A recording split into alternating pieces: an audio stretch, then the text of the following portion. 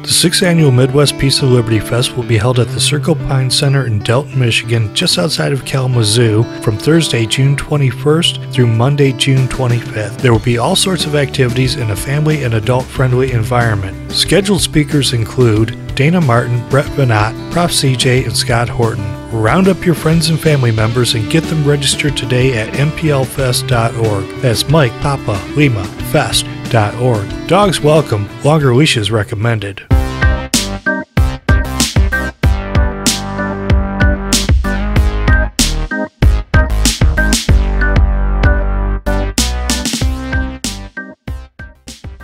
We are just some modern day abolitionists looking to rid the world of the last vestige of slavery statism. It's the Seeds of Liberty podcast with Andrei, Dave, and Jeremy.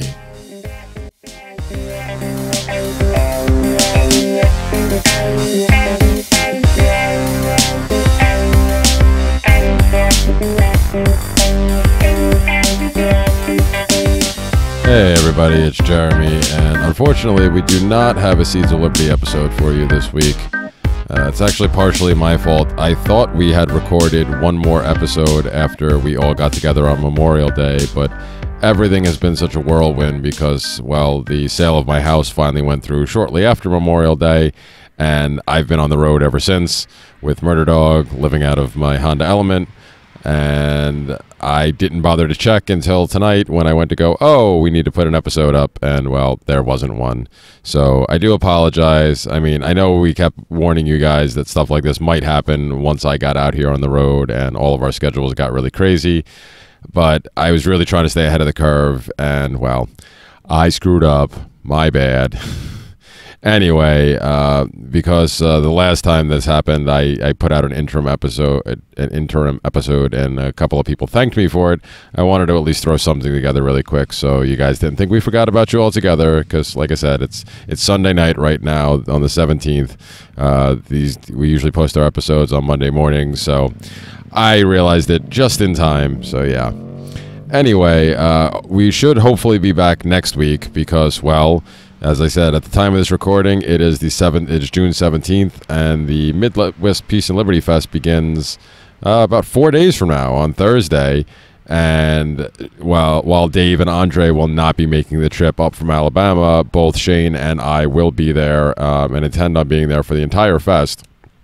So we're going to try to do at least one, hopefully more recordings. If we can find a way to get a good enough connection where we can link up with Dave, Dave and or Andrei, we will definitely try to have a more full show like that. But at the very least, Shane and I should be able to at least do a show or two, and hopefully grab a guest or or, or three or more. So let's see, because there's going to be a bunch of people there. So uh, we're definitely going to have a good time and we'll tr- try to get a bunch of recordings done. So that way we can uh, once again be back on track and hopefully have an episode or two in the can. And then once I return from the Midwest Peace and Liberty Fest, uh, although I am planning on taking a pit stop on the way back to see Ben Stone for a day or two, which is going to be great. Uh, you know, everybody who listens should know who Ben Stone is. If you don't, what he's been living in in a cave. Uh, we've had him on like three times. well, you know, we're all big fans of Ben, and uh, he's he's a personal friend of mine now, which is which is uh, really awesome for me to be able to say. And he has invited me and uh, uh, returning uh, former guest, multiple time for, uh, former guest Shane Radliff. Uh, the two of us are actually going to be headed down after the fest to go hang out with Ben for a couple of days because Shane is actually starting his van nomadism experience uh, about a year ahead, uh, which is really exciting because he had talked about the fact that he was going to uh, attempt to do this van nomadism thing uh, on a more permanent, uh, well, not not you know not permanently, but at least on a more permanent basis than I was planning on doing it with this little experiment that I am currently going through. Um, but I think I, I like to. Uh, I haven't run this by him yet, but I do like to. I think I, I, I get some credit for uh, pushing him forward to, to jump on it now because I, I, I think the uh, fact that he saw me just kind of flying by the seat of my pants and going, eh, I'm just going to go try this, uh, maybe encouraged him to say, yeah, what the heck, let's just get it done now. So, yeah, he's planning on starting directly after the fest, and uh, yeah, so we'll both have our vehicles that we will at that point be living out of, and uh, we're going to go stop by Ben Stone's and then I think he's on his Shane will be on his way to Austin, Texas after that, and I will be headed back to New York so I can uh, hopefully find out shortly thereafter what the hell is going on with my damn court case and see if we're anywhere closer to finally getting that done. Yeah, that's on July 9th. I don't have. I'm not not very encouraged. You know, not encouraged that anything will progress, but we'll see anyway, so yeah, that's the that's the plan for the uh, upcoming future. And like I said, once I once I do return from Ben, uh, the Fest and Ben's, uh, hopefully we can get back on track and start recording more episodes because I have successfully been able to do a couple of podcasts from out on the road. I did an episode of my abolitionist abstractions uh, a week or so ago with Anthony Samaroff from the Scottish Liberty podcast, who we had uh, on the seeds uh, about a month or so ago. Shane and I talked to him and we were able to do a Skype call, and you know the connection was pretty good. And then I was actually able to record a uh, Freedom Feens episode with Michael Dean uh, a couple days ago, and I used FeenPhone with Wi-Fi, which is usually not recommended, but he said uh, I sounded great and there was no dropouts whatsoever. So it is a possibility that we might be able to use FeenPhone and actually record an episode uh, once I return from the fest. So that's what we're going to try to do. If not, we'll use Skype or whatever we have, wherever we have to. Unfortunately, I don't know if Discord's going to work because I learned that I learned my lesson with trying to do an episode with Jim Jesus of the Lulberts a couple a uh, week or so ago. Uh, we just had all sorts of problems connecting on Discord, even though I had really good Wi-Fi signal. So. Uh, our our normal backup may be out the window, but we will definitely try to get you guys episodes as soon as possible. Like I said, hopefully this uh, upcoming four or five days around the weekend, where uh, Shane and I are going to be together at the Midwest Peace and Liberty Fest. Uh, we will at least get at least one episode, hopefully more, uh, so that we can, uh, you know, start providing you guys with content again. So anyway, uh, like I said, I, just wanted to throw this in there so you guys didn't think we forgot about you. Uh, you know, it's it's it's partially my bad. I do apologize, but you know, we did warn you this this might happen, but hopefully it won't be for long, and we will return as soon as possible and keep providing with content for our Patreon subscribers. Uh, as always, thank you guys for your continued support. I do apologize that I haven't put any Patreon episodes left. I you know I finally got us on on, tr- on track, and we were doing an episode a week so you're getting uh, at least four bonus episodes a month, and uh, just being out here between finding wi- consistent Wi-Fi so I can upload stuff just in general, and also you know time that I t- time I have available. Uh, I haven't been able to edit up and also post any new uh, any new Patreon episodes, and that may be a little while before I figure out how I'm going to do all that. So again, I do apologize. We may not have anything uh, for a little bit going going on Patreon, but I definitely you know uh, I definitely still appreciate, and we all do. We appreciate you guys your, your continued support, and uh, I know a bunch of you were supporting us before we were even putting up episodes out anyway. But we do like to provide you with something uh, for the fact that you uh, step up and help support the show in the way you do. So uh, I'll try to get back on with those as soon as I can. You know, as I was as I said before, between the the fest and every, and my court, you know, my next court date and everything, things may be a little crazy for the next couple of weeks. But after that, hopefully, we'll uh, I'll have a better idea, and uh, we'll try to start returning to do our weekly, uh, having our weekly Patreon episodes as well.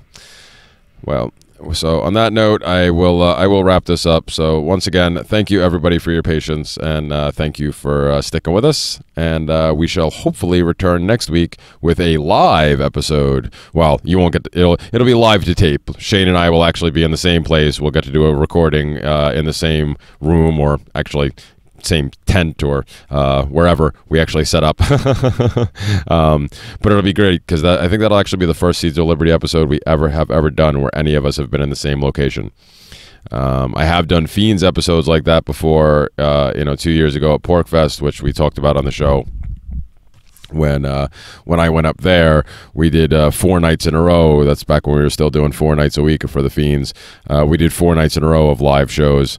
Um, so I got to you know sit in the same room with uh, with a bunch of my Feens hosts who uh, most of them up until that point I had never met, met before, and uh, that was great. So it, it's always fun to do the live show like that because you know you can. Uh, it, you can react to each other better because you not only you know you're not only getting the inflections in each other's voices you can actually see uh, body language and all that stuff and uh, it should prove to be a good time you know there's a, a bunch of great speakers scheduled to be there people like Brett Veinotte Scott Horton um, Dana Martin, uh, I believe uh, our, gu- our, our guest from a couple of weeks ago, Luis Fernando Mises, will be there uh, to get to talk. Uh, I just heard from Shane a little while ago. He said Derek Brose is actually going to be making it up to the fest, which is kind of exciting. I thought I was going to miss him because he's on his doing his Free Your Mind tour, and uh, he's scheduled to uh, be in Shane's area directly after the fest. I thought they, you know, I, I originally wanted to go stop down there and see them, but then the invite from Ben came in, so well, that kind of supersedes things because, well, but you know, everybody knows how high Ben is on my list of people in this world. So, uh, yeah, but so it was exciting to hear that Derek's going to be there, and there's a couple other guest uh, speakers too. I think uh, Prof. CJ, another former guest of ours, is going to be back there this year um, after missing last year, so that's exciting. And of course, uh, most of the feens and a lot of former feens will be there too. So that'll be great. So a bunch of people that I know, uh, a bunch of people that uh, you know, former guests of ours, and uh, so plenty of people to pull from for uh, interviews or to do shows with. And since I have all of my equipment with me, and Shane's bringing some of his, and then of course Shane Radliff uh, from Liberty Under Attack and the Vanu podcast, he'll be there, and he's bringing his equipment. So between the three of us, oh, and, and Lou Sanderfine, I'm pretty sure we'll be bringing his equipment too. So between all of us, I'm sure there'll be plenty of enough equipment to do a full out show, and hopefully we'll get some really great content to bring you guys. I plan on trying to get at least an episode or two of my own show, Abolition, Abolitionist Abstractions, while I'm there. Uh, I'm really hoping to at least snag maybe even a 10 minute, if even 10 minutes if I can, uh, with Scott Horton, and then hopefully through that set up a much set up a longer interview with him at a, at a different time. Uh, Brett Veinotte too, uh, you know, hopefully Dana Martin and uh, any anybody else we haven't talked to in the past, and other you know returning you know guests we've had on too. I'm going to try to snag as many people as possible uh, and do as many recordings as possible, and uh, just have a good time. So. And of course, since this will be coming out tomorrow, uh, you guys still have time if you haven't yet, and if you're going to be anywhere close, or even if you're not, if you can get anywhere close to Delton, Michigan, uh, a couple days from now, then uh, the fest is going to be there, and we'll be there, and uh, we'll, you know, Shane and I will be there. We'll be having a great time. So come on down and uh, hang out, meet us in person, and uh, have some fun. So, anyway, once again, thank you uh, everybody for listening to this, and uh, thank you for your patience. Uh, for anybody who you know isn't following my vlog series yet, well, there's always that. When we, we don't have seeds content out, there's we always got something being we're putting out, and uh, heck, you can go go over to go over to my Steemit account at steam steemit.com slash at abolitionistjay, and uh, check out my daily vlogs of, of Murder Dog and I living out here on the road in my Honda Element. We are we're in our third week now and uh, there's definitely been some ups and downs, but uh, overall, it's been a very interesting and relatively positive experience, and uh, we keep learning as we go, and it's uh, it's been fun. So definitely uh, check those out, and of course, uh, if you are somebody who does have a Steemit account, please consider. Uh, what you call it, re-steaming and upvoting that and of course, uh, oh, and that, and you know, and the the seed Steemit will uh, is kind of on hold for the time being uh, because again, I, I, haven't had the time to also upload stuff for that that uh, page as well. But uh, hopefully, we will return with putting episodes up there so that we will finally catch up, and then uh, the seeds episodes will switch over to once we're caught up with all the back episodes. The seeds episodes will switch over to the Seeds of Liberty Steemit is, is instead of putting them up on my mine because well now I have plenty of content to go up on my feed, so. So we'll try to shift those back over there. And uh, yeah. So, all right. I keep saying it, but this time I'm really going to go. Thank you again, everybody. And uh, we will definitely try to be back next week with a, uh, you know, hopefully a live show. And maybe a couple weeks after that, you get to hear uh, live to tape shows. And, uh, you know, we'll, uh, we'll, we'll eventually bring Dave and Andrei back. Well, definitely Andrei. Maybe Dave. Just kidding, brother. Anyway, guys, thanks again, and uh, I'll catch you next. We'll catch you next time. Peace.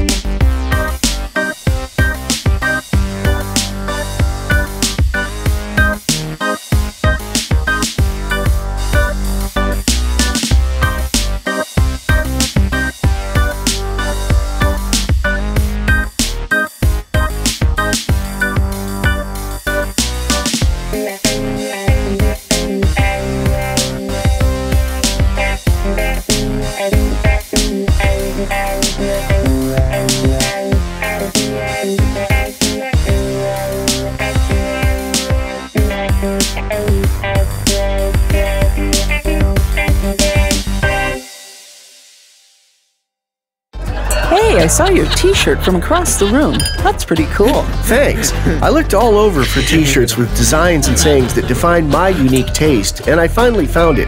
Who makes them? Wormshirts.com. Wormshirts.com? Yeah, wormshirts.com. That's weird. Why'd they call it wormshirts.com? Probably because wormshirts.com is easy to remember. Worm, like the critter that crawls on the ground, and shirts, like what they are t shirts. Wormshirts.com. Cool. Do they make them for women? Yeah, they have men's, women's, and children's styles, a bunch of colors, and all sizes, and they're quality cotton shirts. I'll look up wormshirts.com right now on my phone and check it out. Wow, they have lots of designs. I've never seen any shirts like these. Yeah, they're pretty cool. Hey, let's get out of here. We'll go over to my place and I'll order some shirts on wormshirts.com.